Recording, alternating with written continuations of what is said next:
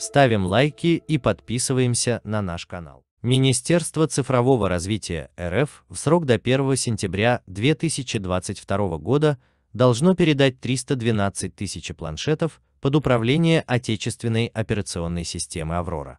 Ранее устройства использовались Росстатом для проведения переписи населения. По утверждению экспертов, в текущей комплектации устройства никому не нужны, даже даром.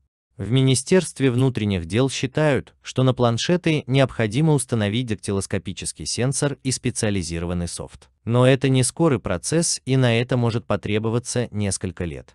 Естественно, начинка устройств за это время морально устареет. Помимо МВД планшеты могут передать Минздраву, Министерству просвещения и Минспорту, в них также считают, что в текущем виде устройства непригодны для применения.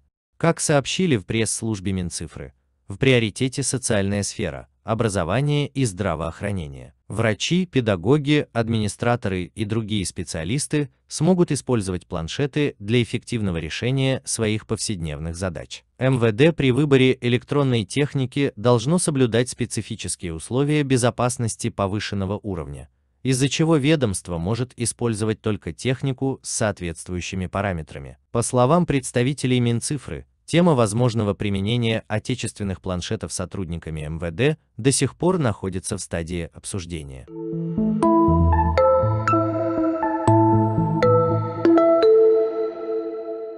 Ставим лайки и подписываемся на наш канал.